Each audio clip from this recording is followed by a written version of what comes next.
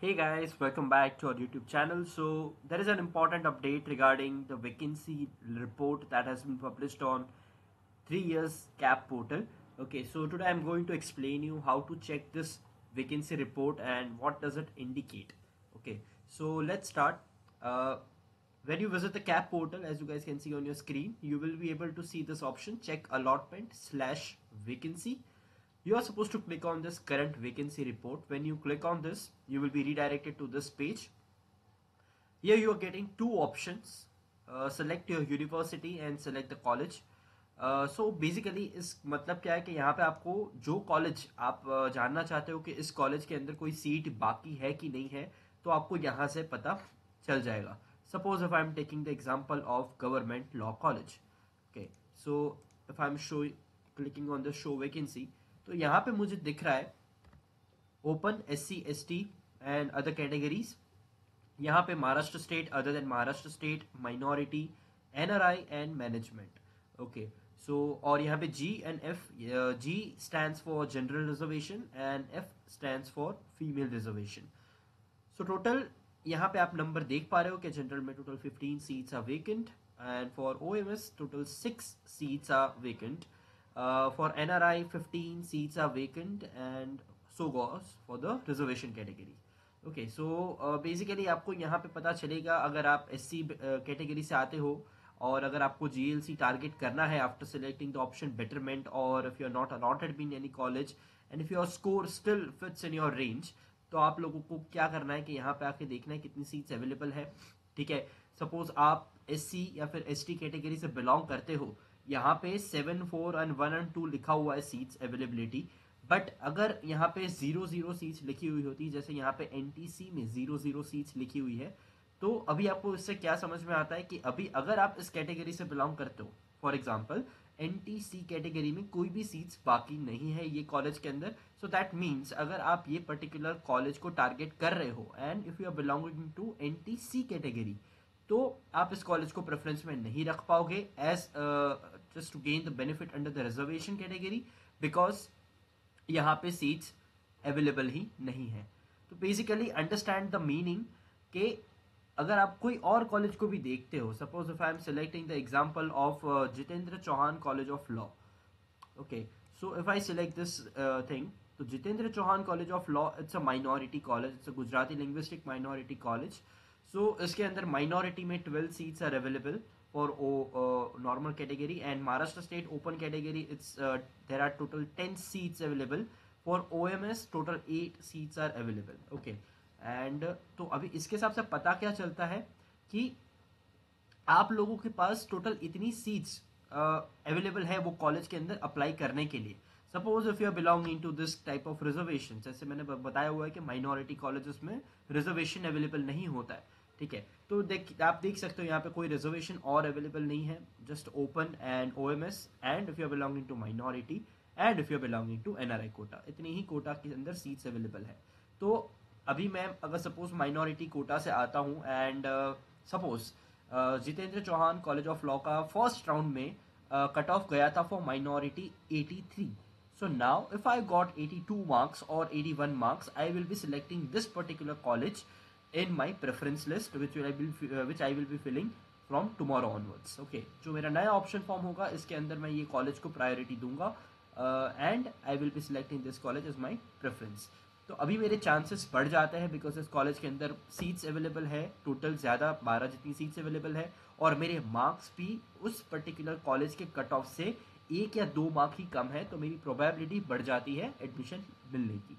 No doubt it's not hundred percent guarantee कि आपको admission मिलेगा ही मिलेगा।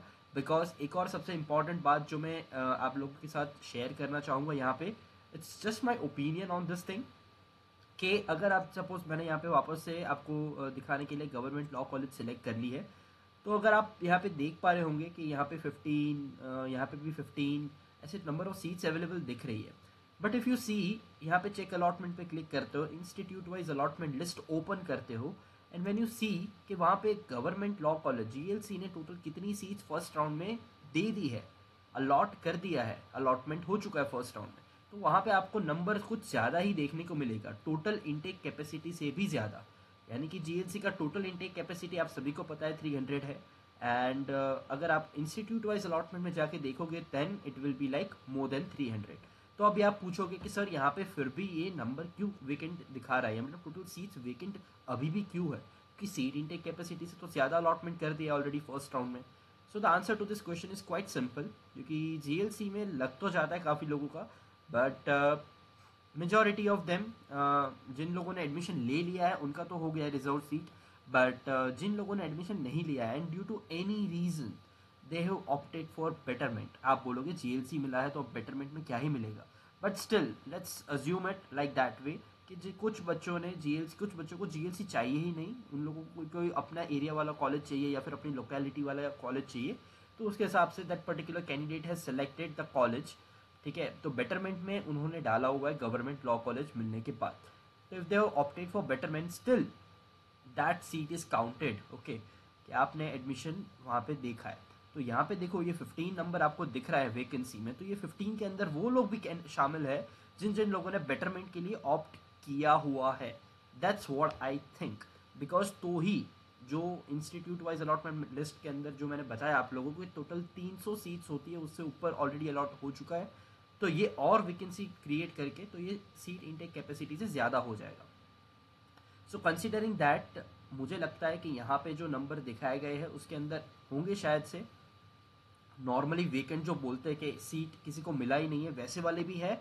एंड बेटरमेंट जिन जिन लोगों ने ऑप्ट किया है, उन लोगों का भी नाम इसके अंदर काउंट किया गया है।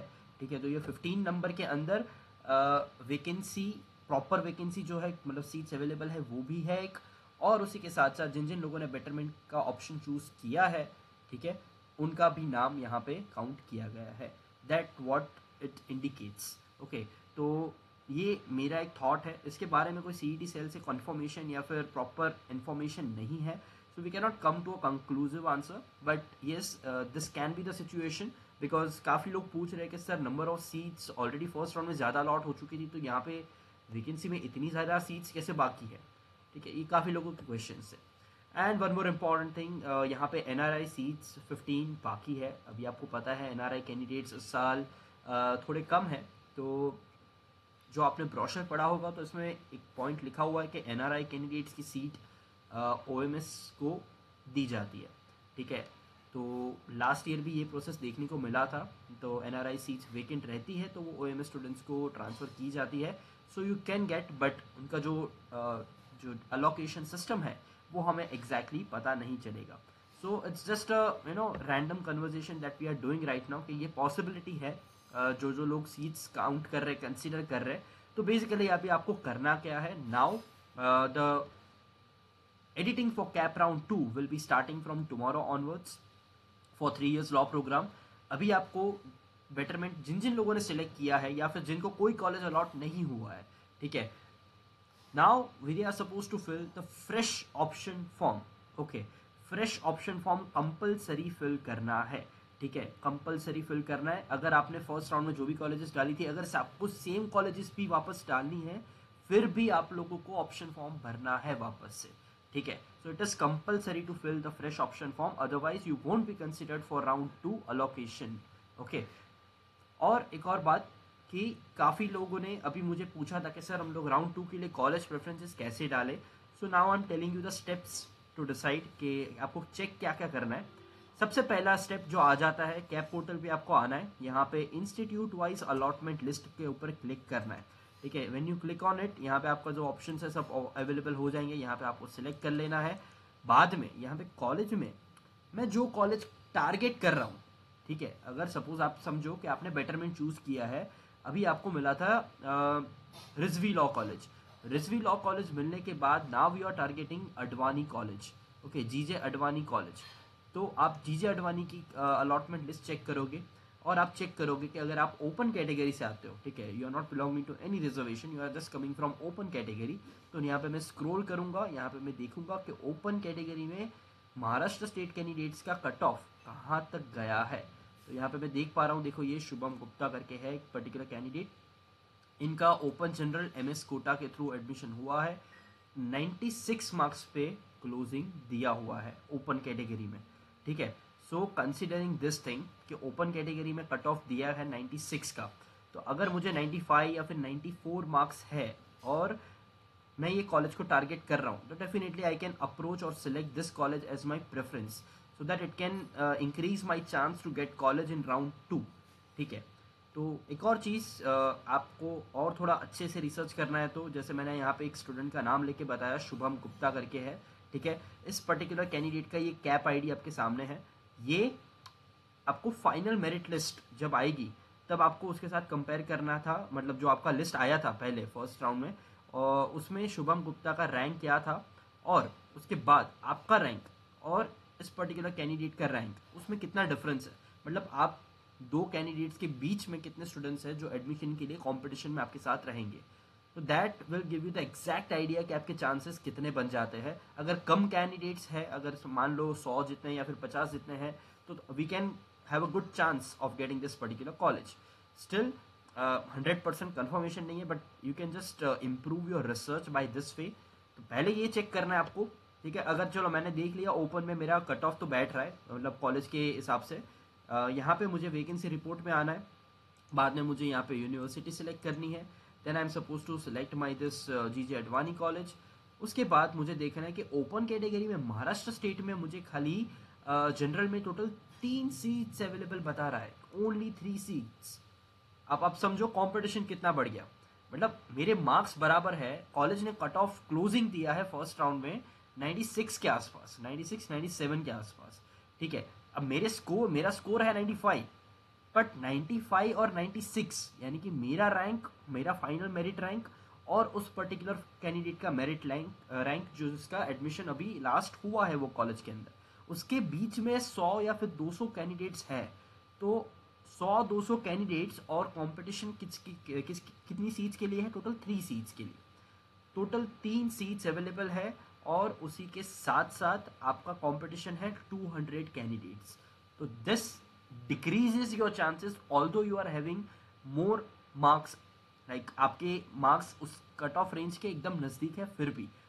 तो गेटिंग द पॉइंट कि अगर आप कॉलेज के मार्क्स से नज़दीक भी हो बट अगर कॉलेज में सीट्स कम है या फिर अवेलेबल ही नहीं है तो आप उस कॉलेज को प्रेफरेंस में डाल नहीं सकते हो।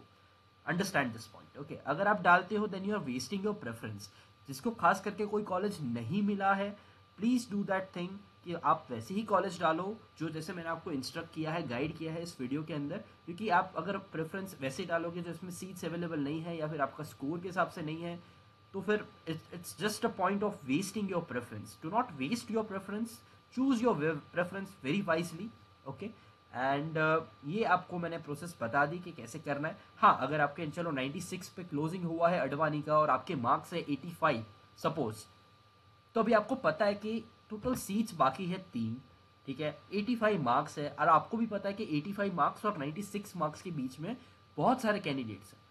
So now if you are opting for this college as your preference then you are doing very wrong thing ठीक है? मतलब आपको ये कॉलेज सिलेक्ट नहीं करना है। अगर आपको कम मार्क्स है रेंज से कम है तो 95 कहाँ 85 कहाँ? 10 मार्क का रेंज और कंपटीशन को कंसिडर करते हुए ये बहुत ज़्यादा रेंज गिना जाता है। तो ये दस मार्क के बीच में आपको ऑलमोस्ट पाँच हज़ार कैंडिडेट्स देखने को मिल सकते हैं। तो पाँच हज़ार कैंडिडेट्स और तीन सीट्स की competition this shows the number of competition that has been increased okay so please choose your college preferences wisely while you're filling the preference form for round two otherwise you will not be allotted any college in round two as well okay so don't be under that impression कि अगर आपने cap round में participate किया है, आप round one में seat नहीं मिला या फिर आप बेटरमेंट चूज़ किया तो राउंड टू में मिल ही जाएगा। क्योंकि मैं पर्सनली मैंने अपने ओपिनियन में भी बताया था कि आपको बेटरमेंट ऑप्शन सेलेक्ट करने से पहले सौ बार सोचना है बिकॉज़ कॉम्पिटिशन ऑलरेडी बहुत ज़्यादा है तो राउंड टू में वो सब कैंडिडेट्स आएँगे जिसको कोई कॉलेज नहीं मिला है। Plus if you are applying for betterment ठीक है, आप भी पार्टिसिपेट कर रहे हो राउंड टू में नो डाउट बेटरमेंट वालों को एक बेनिफिट रहता है कि अगर राउंड टू में कोई कॉलेज नहीं मिला तो राउंड वन में जाके आप एडमिशन ले सकते हो।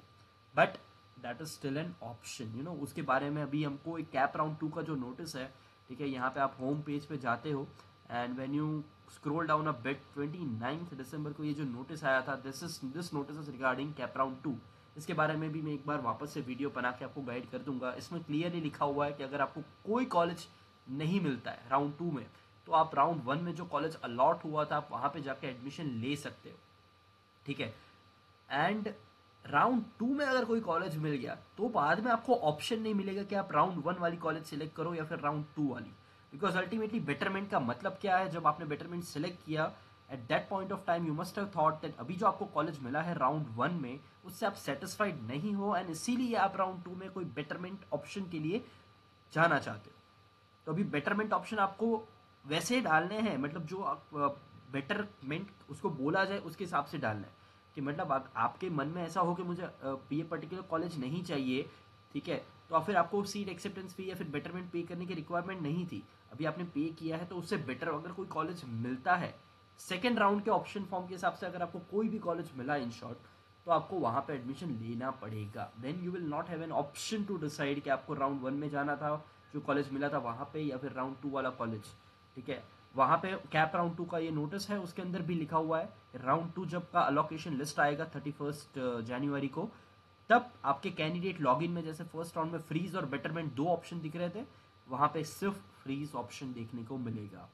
So freeze option will only be there so kindly do that thing and मैंने जैसे आपको स्टेप्स बताए हैं उसी के हिसाब से एक बार प्लीज़ uh, uh, चीज़ों को फॉलो करिए और आपका कॉलेज प्रेफरेंस जो आप डालोगे ठीक है वो वाइजली डालना and please do not forget to fill the option form if you do not fill the option form you will not be considered for round two okay please keep this thing in mind so thank you so much guys for watching this video i hope it was quite useful for you guys and uh, it helps you to select your preferences wisely thank you so much